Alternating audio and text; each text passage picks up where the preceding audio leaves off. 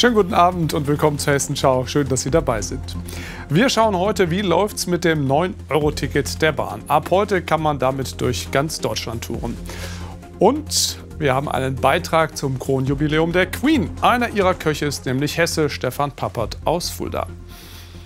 Als erstes gucken wir, was war heute an unseren Tankstellen los. Seit heute greift der sogenannte Tankrabatt der Bundesregierung. Super E10 müsste dadurch 35 Cent billiger werden. Diesel immerhin gut 17 Cent. Aber geben die Tankstellen, der, der, die Tankstellenkonzerne den Rabatt überhaupt weiter? Für viele Autofahrer beginnt der Tag heute so wie das Wetter, mit sonnigen Aussichten. Die Preise weit unter der 2-Euro-Marke. Gestern noch war es wie hier in Dieburg anders.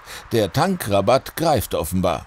Schon um halb sieben bilden sich heute Morgen an dieser freien Tankstelle lange Schlangen. Für die Leute, die noch berufstätig sind, die weit fahren müssen, ist es mit Sicherheit eine Erleichterung. Ja, wir haben es noch nie so gespart, aber jetzt im Moment lohnt es sich ja mal zu gucken, wer überhaupt das umsetzt. Egal was es kostet, wenn ich tanken muss, muss ich tanken und dann, naja, es ist halt leider so. Ich musste eh tanken, weil ich habe nicht mehr viel im Tank, weil ich die ganze Zeit nicht viel getankt habe, weil die Preise so hoch waren.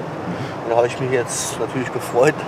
Der Bund hat heute Nacht die Mineralölsteuer gesenkt. Bei Diesel um 17 Cent, bei E10 um 35 Cent.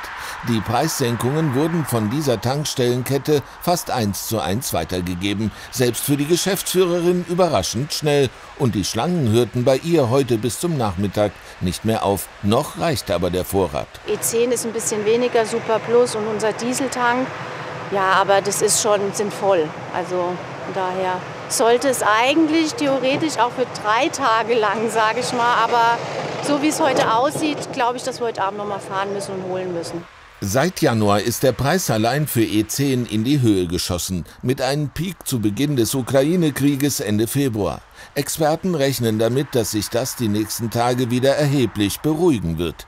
Die Idee der Ampelregierung, die Energiekosten zumindest zeitweise zu senken, habe heute in allen Regionen Hessens funktioniert, sagt der ADAC. Und das werde wohl noch einige Zeit halten.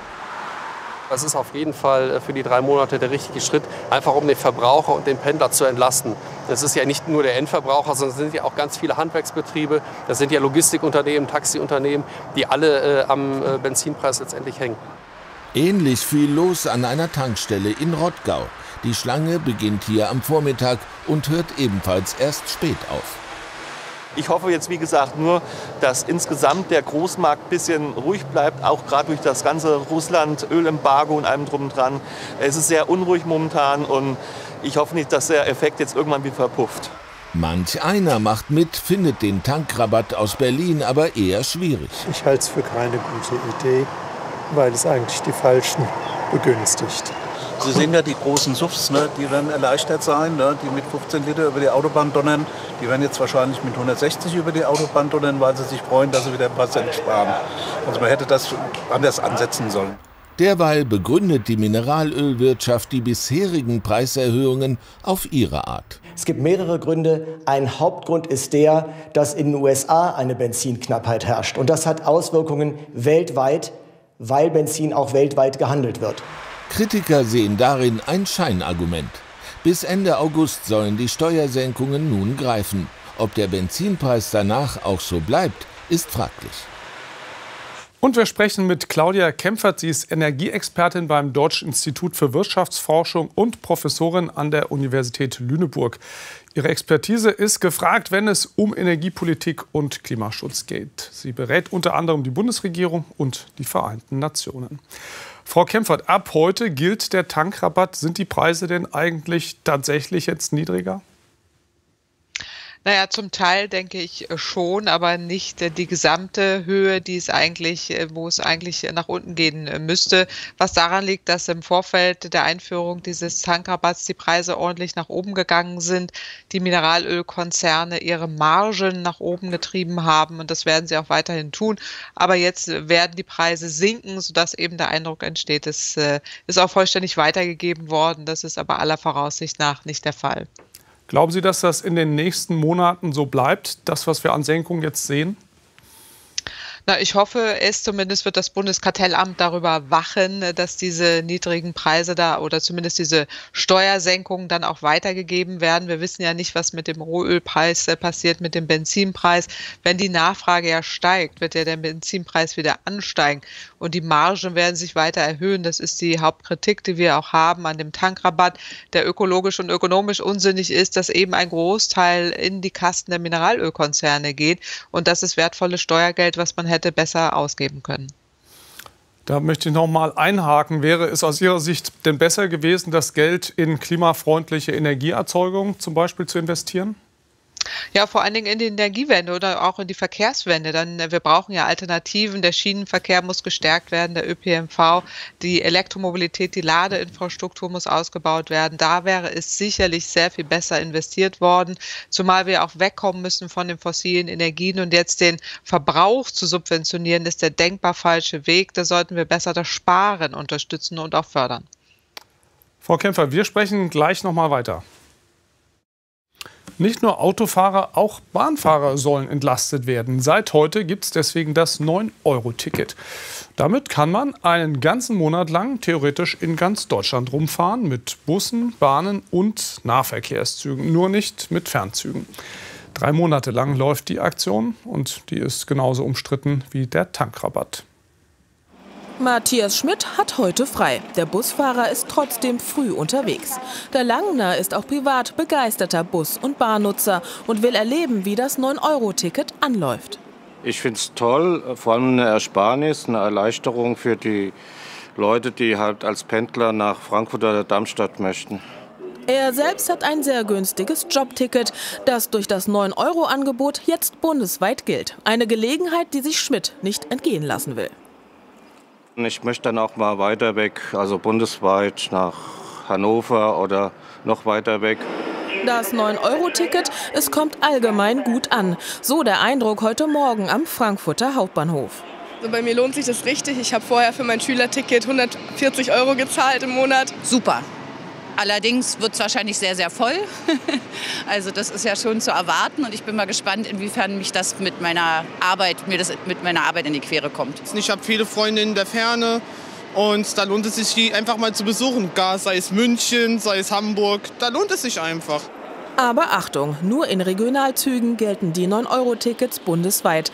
Eine Garantie auf günstiges Reisen für drei Monate. Der Ansturm ist groß. Mehr als 7 Millionen 9-Euro-Tickets wurden bisher in Deutschland verkauft. Doch glatt läuft nicht alles, wie einige heute früh feststellen. Und ich bin entsetzt, das erste Mal.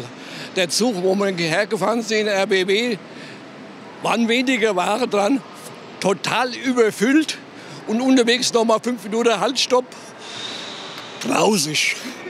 Störungen sind quasi unvermeidlich, räumt der RMV-Geschäftsführer ein. Die Kapazitäten in Bezug auf Strecke und Wagen seien begrenzt. Das, was Sie hier heute am Frankfurter Hauptbahnhof sehen, ist das eigentlich, was maximal an Kapazität und Leistung abgerufen wird. Und demzufolge gibt es noch etwas Puffer für die Freizeitverkehre, für die Wochenendverkehre. Doch trotz potenzieller Schwierigkeiten, die Aktion sei auch eine Chance, neue Kunden zu gewinnen. Kritik an der Aktion gibt es überraschenderweise vom Bündnis Verkehrswende. Das 9-Euro-Ticket begrüßen sie zwar, fordern aber grundsätzlich den Ausbau des öffentlichen Nah- und Fernverkehrs. Wir brauchen eine bessere Taktung, dass man auch wirklich überall ankommt, den ganzen Tag, auch in den Abendstunden. Da wird es dann schon dünn dünn. Wenn man zum Beispiel von Gelnhausen nach Büdingen will, nach 17 Uhr, kommt man nicht mehr in jedem Ort an. Matthias Schmidt ist auch vom jetzigen Angebot schon begeistert. Schließlich kann er so besonders bei langen Strecken viele Euro sparen. Und wir fragen nochmal Professor Claudia Kempfert vom Deutschen Institut für Wirtschaftsforschung, Energie- und Klimapolitik-Expertin. Frau Kempfert, was halten Sie vom 9-Euro-Ticket? Na, grundsätzlich geht das in die richtige Richtung, ist zumindest besser als der Tankrabatt, äh, denn wir brauchen ja eine Verkehrswende, mehr Schienenverkehr, besseren ÖPNV. Es ist allerdings ein äh, Strohfeuer. Die Nachfrage, das war zu erwarten, äh, steigt natürlich enorm. Das kennen wir auch aus anderen Ländern. Da wäre es besser, man würde es verstetigen und wirklich den Schienenverkehr dauerhaft stärken, sprich die Schienen ausbauen und auch mehr Wagen, mehr Angebot, all das unterstützen. Es ist ja vielleicht auch die Gefahr, dass durch überfüllte Züge manche Menschen sogar am Ende abgestreckt werden, oder? Ja klar, im Moment sind die Züge voll und manche sind abgeschreckt. Deswegen wäre es sinnvoller, man setzt dann auch mehr Wagen ein. Und das muss man tatsächlich finanziell unterstützen, sodass äh, die Menschen nicht dauerhaft abgeschreckt sind. Es geht ja auch darum, dass man eigentlich will, dass man dauerhaft umsteigt, dass eben sehr viele mehr Menschen auf den Schienenverkehr umsteigen. Deswegen muss es billiger werden, attraktiver, aber eben auch ein ausreichendes Angebot da sein. Claudia Kempfert vom Deutschen Institut für Wirtschaftsforschung. Vielen Dank. Danke Ihnen. Wir haben das Gespräch vor der Sendung aufgezeichnet. Kaum im Amt geht es auch schon richtig los für den neuen Ministerpräsidenten. Die Opposition hat ihm gleich am ersten Arbeitstag im Plenum das Leben ein bisschen schwer gemacht. Die Nachrichten mit Martin Würsing. Ja, die SPD zum Beispiel ist sauer. Es gäbe zwar einen neuen Ministerpräsidenten, aber ansonsten hätte sich gar nichts getan im Land. Sebastian Jakob über den heutigen ersten Tag im Landtag für Ministerpräsident Boris Rhein. Boris Rhein tiefenentspannt. Kein Wunder. Erst seit etwa 24 Stunden ist er als neuer Ministerpräsident im Amt. Doch wenn es nach dem Willen der Opposition geht, soll ihm das Lachen schnell vergehen. Scharfe Kritik an der Landesregierung heute in der ersten Sitzung am Tag nach der Wahl. Der verfassungswidrige Umgang mit dem sogenannten Corona-Sondervermögen, erst die Klage von SPD und FDP vor dem Staatsgerichtshof, hat sie wieder auf den Boden des Grundgesetzes zurückgebracht. Und das war notwendig. Die Linke sagt, Boris Rhein stehe nicht für Aufbruch und Erneuerung. Das findet auch die FDP. Hessen stehe unter Schwarz-Grün still. Der frisch gewählte Ministerpräsident sieht das anders. Wir sind vollkommen da, und zwar nicht irgendwie da, sondern wir sind da mit Wumms und mit Energie. Schwarz-Grün ist da und so stark wie selten zuvor. Nächsten Dienstag steht Rheins erste Regierungserklärung an. Dann will er Details zu seinen politischen Zielen präsentieren, damit Schwarz-Grün auch weiterhin gut Lachen hat. Die Aussetzung des bekenntnisorientierten islamischen Religionsunterrichts in Kooperation mit dem Moscheeverband DITIB Hessen ab dem Schuljahr 2021 war rechtswidrig. Das hat der Hessische Verwaltungsgerichtshof heute bestätigt. Das Land habe mit dem sogenannten Einrichtungsbescheid von 2012 ein auf Dauer angelegtes Kooperationsverhältnis mit dem Verein, das nicht einfach einseitig eingestellt werden könne. Nach den Durchsuchungen bei der Deutschen Bank und ihrer Fondtochter DWS wegen Greenwashing-Vorwürfen gibt es nun personelle Konsequenzen. DWS-Chef Asoka Wörmann lege sein Amt im Einvernehmen mit dem Unternehmen nieder und werde vom bisherigen Leiter der Un Unternehmenskundensparte Stefan Hobbs abgelöst, so die beiden Unternehmen. Die DWS soll wissentlich Finanzprodukte als nachhaltiger verkauft haben, als sie es tatsächlich sind. Und das war es erstmal mit den Nachrichten. Bei Andreas geht es weiter mit einem Mann und seinem besonderen Job. Die Queen feiert ab morgen ihr 70. Thronjubiläum und ein Hesse ist voll eingespannt in die Vorbereitungen. Stefan Pappert aus Fulda ist nämlich einer ihrer Leibküche. Das hohe Alter von Elisabeth II. kann er sich nur zum Teil zuschreiben. Er kocht seit fünf Jahren für sie.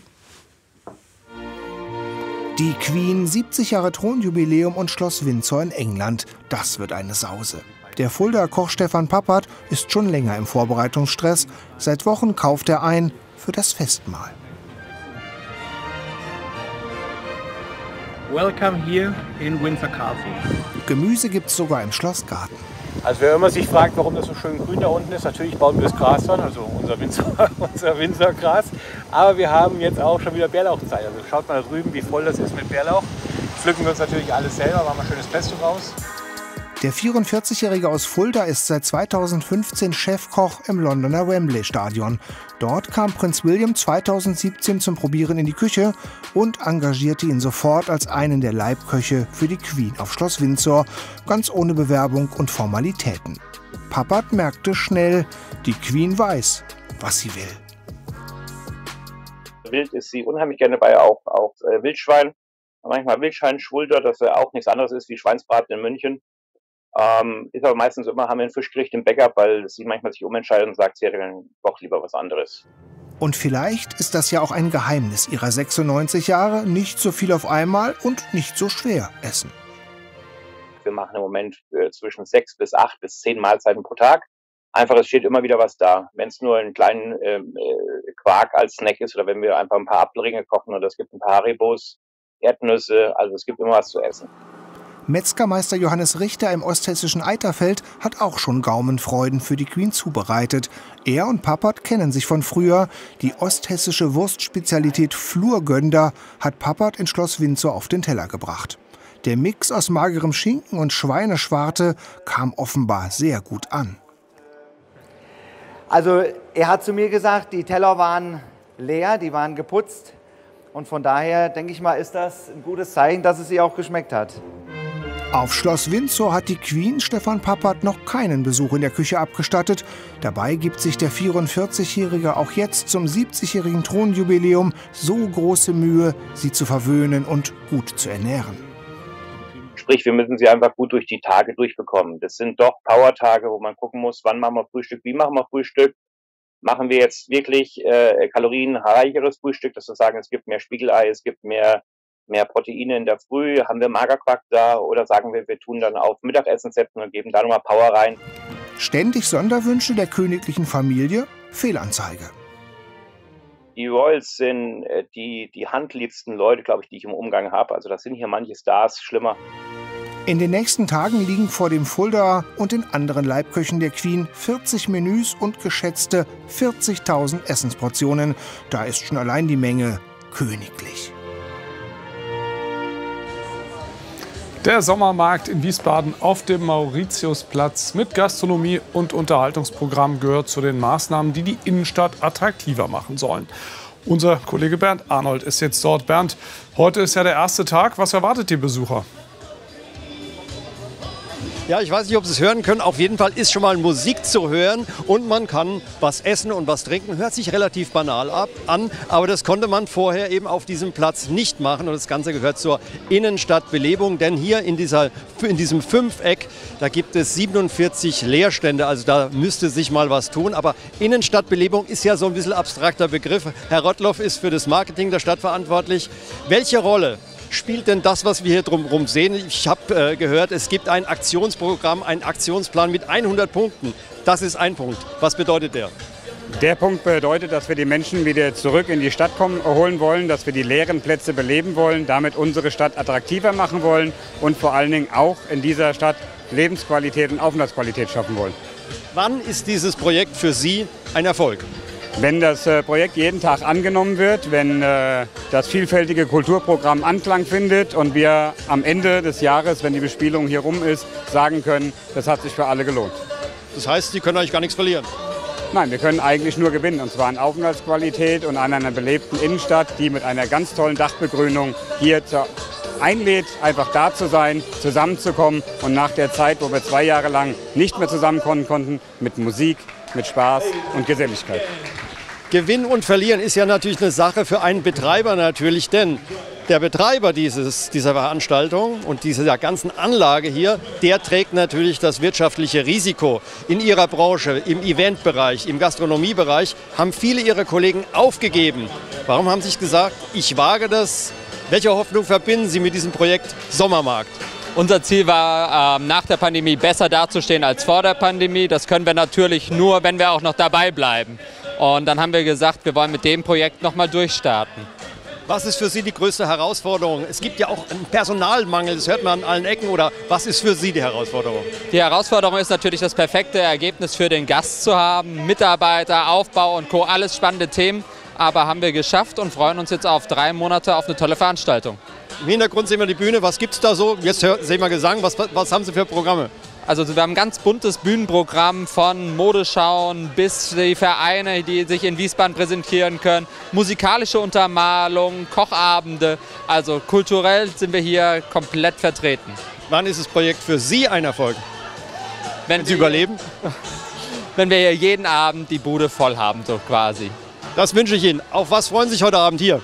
Ich freue mich darauf, dass es angenommen wird und dass wir Menschen aller Altersklassen heute den Tag über schon sehen konnten, dass sie sich hier einfinden und dass sie alle voll des Lobes sind, was man hier auf die Beine gestellt hat. Prima, dann wünsche ich Ihnen und mir noch einen schönen Abend. Ja, vielen Dank, Bert Arnold. Wünschen wir auch. Schon zum zweiten Mal innerhalb weniger Wochen hat es in Kassel einen brutalen Übergriff auf eine Schafherde gegeben. Nochmal Nachrichten mit Martin Wirsing. Ja, diesmal wurde ein trächtiges Schaf getötet und der Schäfer wendet sich nun an die Öffentlichkeit. Hubertus Dissen weiß nicht, wie er seine Schafe noch besser schützen kann. Am vergangenen Montag bot sich ihm ein, dieses Bild, ein trächtiges Schaf mit aufgeschlitzter Kehle, qualvoll verendet. Ende April wurden sieben Tiere aus der Herde geschächtet. Die Polizei ermittelt nun wegen Tierquälerei und hofft auf Hinweise aus der Bevölkerung. In Darmstadt haben sich die Mieten deutlich verteuert. Das zeigt der neue Mietspiegel, der heute vorgestellt worden ist. Demnach sind die Mieten in den vergangenen vier Jahren um gut 17 Prozent gestiegen. Der Durchschnittsquadratmeterpreis liegt jetzt bei 10,44 Euro. Damit ist die durchschnittliche Miete in Darmstadt inzwischen höher als in Frankfurt. Hier liegt sie nach dem aktuellen Mietspiegel 14 Cent niedriger bei 10,30 Euro. Die Coronavirus-Pandemie hinterlässt auch beim Thema Organspende ihre Spuren. Die Deutsche Stiftung Organtransplantation DSO meldet für das erste Quartal 2022 29 Prozent weniger Organspendende gegenüber dem Vorjahreszeitraum. Der Kreis Bergstraße macht nun auf die Notwendigkeit von Organspenden aufmerksam mit Organspendetafeln, wie hier in Lorsch. Die werden für Bürgerinnen und Bürger frei zugänglich aufgehängt. Jeder kann sich hier einen Organspendeausweis mitnehmen und für sich entscheiden, ob und zu welcher Organspende er oder sie bereit ist. Soweit die Nachrichten und bei Andreas steigt die Lust auf den Wäldchestag. Die gute alte Schiffsschaukel, hier haben wir Bilder von 1957. Tja, beim Frankfurter Wäldchestag steht jetzt eine, die schon ausrangiert werden sollte. Betrieben wird sie von einem Schiffsschaukelverein. Dahinter steht vor allem eine Familie aus Mülheim am Main. Die konnte sich ihre Dietesheimer Stadtteilkerb ohne Schiffsschaukel überhaupt nicht vorstellen. Aber kaum war das Ding fertig restauriert, kam Corona. Jetzt wieder der erste Einsatz. So ein Schiffschaukelaufbau ist anstrengend und dauert. Deshalb hat der harte Kern des Dietesheimer Vereins schon gestern angefangen, das gute Stück aufzubauen. Auf dem unebenen Waldboden ist das eine Herausforderung. Also eigentlich ist es wichtig, dass sie komplett gerade steht, in Wasser sozusagen. Ist jetzt auf dem Boden ein bisschen schwierig, aber dafür äh, haben wir die Bretter, die wir unterlegen, dass sie wieder eben ist. Das ist jetzt das Podest, wo wir draufstellen. Legen wir gerade mal hin, dann kannst du wieder rüber. Ähm, ja, mit den Bremspolen sozusagen werden dann die Schiffe äh, abgebremst. Der Schiffschaukelverein 2018 gegründet ist deutschlandweit einzigartig, sagen die Initiatoren Familie Zortea. Vater Rainer, Mutter Inge und Sohn Nick wollen damals nicht hinnehmen, dass der Schausteller die von den Dietesheimern heiß geliebte Schiffsschaukel ausrangieren will, nur weil sie in die Jahre gekommen ist. Dann sind wir also ins Gespräch gekommen, dass er es nach Holland verkaufen will. Dann habe ich gesagt, ist mir egal, was der Holländer will, die bleibt hier. Ich kaufe das ab. Ja, du weißt gar nicht für wie viel, habe ich gemacht. Ist egal, der Holländer kriegt sie nicht, die bleibt hier. Am Ende wird ein vierstelliger Betrag fällig, plus die Kosten für die Renovierung des Schaukel-Oldies Baujahr 49. Aber Freunde helfen, Spenden fließen, denn ohne die Schaukel will in Dietesheim keiner und keiner Kerb feiern. Das hat sich rumgesprochen bis Frankfurt. Und es ist einfach immer geil, wenn du von Grund auf das Ding aufbaust. Es dauert halt wirklich lange, ne? ist halt auch dementsprechend groß. Und wenn sie dann steht und das erste Mal angestummt wird und es wird gebremst, das ist ein, ein, ein Holzgeruch. Sobald man den riecht, dann weiß man eigentlich, das ist Kerb. In dem Fall ist jetzt welches Tag, aber wir sind wieder da und da äh, ist die Freude groß.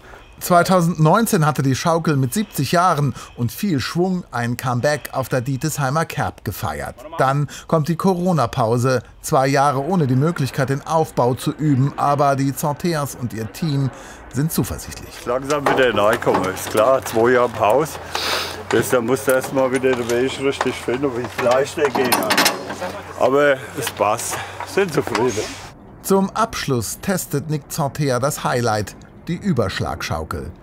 Und es scheint rund zu laufen. Bis André Abraham kommt. Er ist beim TÜV Sachverständiger für fliegende Bauten und muss genau hinschauen, auch bei der Elektrik. Das Resultat, auf dem Metallrahmen der Schaukel fließt Strom. Ja, also wir haben das Problem, da, ist eine Schutzleiterverbindung von, also von dem Schaltkasten nach da oben und irgendwo ist die Schutzleiterverbindung halt unterbrochen. Oder es ist halt ein Schaltungsfehler irgendwo passiert. Äh, das muss jetzt kontrolliert werden von einem Elektriker, wo der Fehler da liegt. Also kein TÜV. Erstmal. Bis zum Start des Wäldchestages am Samstag ist aber ja zum Glück noch Zeit. Und die Zorteas sind sich sicher, Sie werden das Kind schon schaukeln. Haben Sie schon mal was von Pinselohrschweinen gehört? So sehen sie aus. Ein markanter heller Strich auf dem Rücken und, naja, lange Pinselohren. Beim Bauern sieht man sie nicht, auch nicht im Supermarkt, aber im Frankfurter Zoo. Sie sind wieder da nach 40 Jahren Abwesenheit, die Pinselohrschweine im Frankfurter Zoo. Nicht nur, dass sie besonders auffällig aussehen, macht sie zum Hingucker. Vielmehr ist eins von ihnen ganz eng mit dem Tierpapst Bernhard Cimek verbandelt. Das eine Schweinchen aus dem polnischen Zoo hatte noch keinen Namen und das haben wir dann in Angedenken an das erste Pinselohrschwein, was jemals im Frankfurter Zoo gelebt hat, äh, Helene genannt. Denn das Schweinchen hieß damals auch Helene und das war von Bernhard Jimmerk selber mit dem ersten Okapi zusammen nach Frankfurt gebracht worden. Ja, und eben so ein bisschen in Memoriam dieser ersten Schweine hat dieses Tier den Namen Helene bekommen. Helene also und Abby. Die beiden Jungtiere sind ab sofort zu bestaunen, aber aller Anfang war schwer. Wie bei all unseren äh, Zootieren, wenn sie neu zu uns in den Frankfurter Zoo kommen, durchlaufen sie erst eine 30-tägige routinemäßige Quarantäne. Also nicht, weil sie irgendwas haben, sondern nur, um auf Nummer sicher zu gehen. Das ist, wie man sich das eben vorstellt, ein sehr kahler und steriler Raum. Und gerade für so explorative und neugierige Tiere wie Schweine ist das natürlich ja, nicht besonders fordernd und ziemlich langweilig. Deshalb sind sie trotz aller Neugier noch ganz schön vorsichtig. Die waren schon, nachdem sie sich dann getraut haben, die waren am Anfang zögerlicher, als wir erwartet hatten, aber haben dann natürlich sofort angefangen zu wühlen und natürlich zu schnüffeln. Jetzt geht es nur noch darum, ob sie in ihrer zukünftigen WG, denn hier ziehen demnächst auch Bongo-Antilopen ein, miteinander zurechtkommen. Das ist nicht selbstverständlich. Wir haben eine große Tierart mit Hörnern, die natürlich in der Lage ist, das Schwein fliegen zu lassen im Zweifel. Die Antilope. Genau. Es gibt auch angriffslustige Schweine, die also das Potenzial haben, die Bongos zu ärgern, in, in die Beine zu beißen. Ähm, also das ist alles im Rahmen der Möglichkeiten. Miteinander auskommen müssen sie auch in ihrer Heimat Afrika. Pinselohrschweine stammen aus Wäldern in Zentral- und Westafrika. Ihr Lebensraum ist stark bedroht. Ja, jetzt gleich das Wetter mit Karen Schmidt und nach der Tagesschau sehen Sie bei uns das Marktmagazin Max. Da geht es heute um die hohe Inflation. Was bedeutet sie ganz konkret für uns? Ja, und um 22.15 Uhr dann die letzte Ausgabe von der Hessenschau für heute. Ihnen einen schönen Abend. Tschüss. Ja, und morgen sehen wir uns wieder. Bis dahin. Tschüss.